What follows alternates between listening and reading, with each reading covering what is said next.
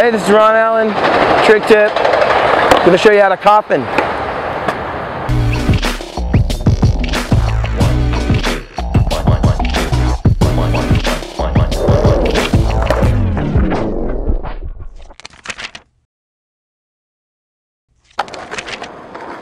Ron's taking too long already.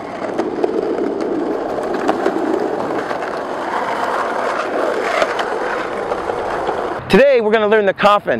The history of the coffin is a great skateboarding trick. It's been in some great skateboarding movies. And like Stevie Caballero in uh, one of the Powell movies was in New York doing it. And then Mark Gonzalez blind video in the middle of the street doing it.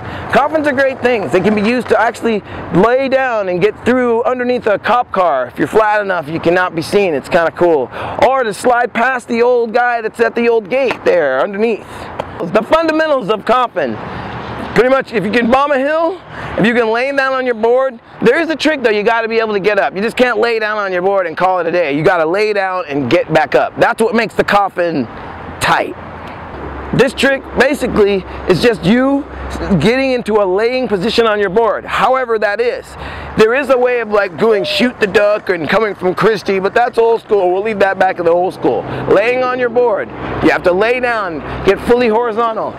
You must do the prayer. That's really the big part of it. You got to get the prayer in. Roll it along, get the prayer. Then when you start to get up, that front foot steps onto the front of your board. Right here. Your other foot's going to come to the middle, but you're using your weight. You use your hand on the tail. So for a hot second, you got two feet here with your hand on the tail, kind of laying down, and then you just push yourself up, roll on down the hill. Okay, what to watch out for is definitely want to be careful with those baggy jeans and them big extra extra large t-shirts. You want to pull those in.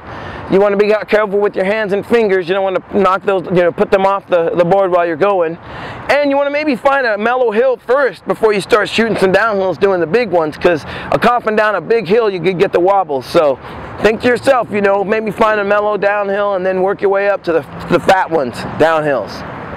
So this trick is really for just having a good time, have some fun, throw some, you know, you and your friends can like do the catamaran together. That's not like coffin, but you can kind of coffin it together. But one thing you can do while coffining, you can lay and have your friends ollie you or frontside boneless you. It's kind of cool.